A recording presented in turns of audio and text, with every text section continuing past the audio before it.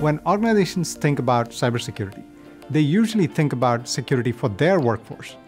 While this is important, enterprise IT and applications are also deeply interconnected with the supply chain and third parties within it.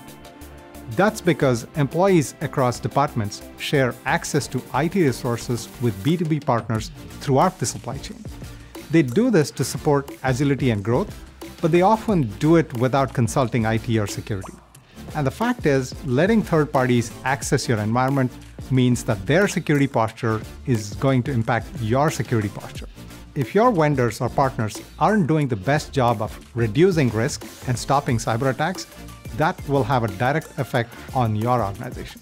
So IT teams turn to several mechanisms in an attempt to provide secure app access to third parties. These include site-to-site VPNs, server-to-server connectivity over the internet, supplier and vendor portals that expose internal apps to the web, and backend app access via APIs.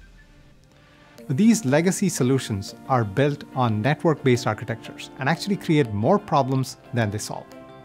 First, they entail open firewall ports, use inbound DMZs, and expose apps and servers to the internet, all of which provide an attack surface for cybercriminals. Next, they grant excessive permissions by connecting users to the network, where threats can move laterally between connected IT resources. This allows attackers to expand the scope of their data breaches. Finally, disjointed appliances and underlying network-centric architectures increase complexity the management burden, and the cost, both in networking and security. Organizations everywhere are looking for the solution to all of these problems. Fortunately, that solution is simple. Embrace Zscaler for B2B and gain unrivaled supply chain security. Zscaler delivers Zero Trust architecture as a service from the world's largest inline security cloud, the Zscaler Zero Trust Exchange. It is because of this fundamentally distinct architecture that Zscaler is able to overcome the weaknesses of network-based solutions built on yesterday's architectures. To put it simply, Zscaler proxies traffic and acts as an intelligent switchboard to provide secure any-to-any connectivity without extending the network to anyone or anything. It is a perfect fit for securing third-party access. So, how does it work? Well, when someone attempts to connect to an IT resource, Zscaler enforces a multi-step process to ensure least privileged access. First, the user's identity is verified.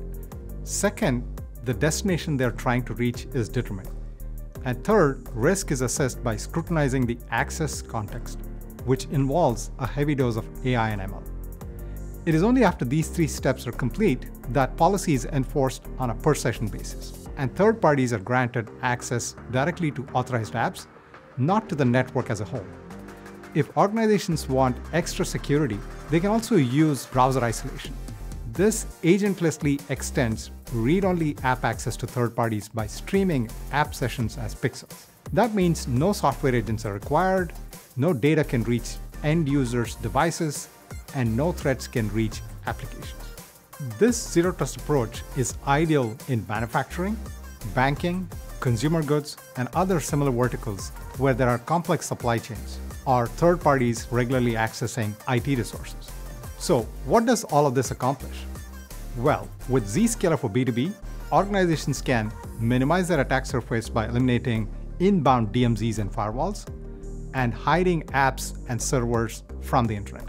Next, they can enhance threat and data protection by proxying traffic, preventing lateral movement on the network, and enforcing browser isolation. Finally, they can reduce cost and complexity by retiring network-centric architectures and point product appliances, and instead embracing a comprehensive cloud-native platform that delivers zero trust architecture. Visit zscaler.com slash B2B if you'd like to learn more.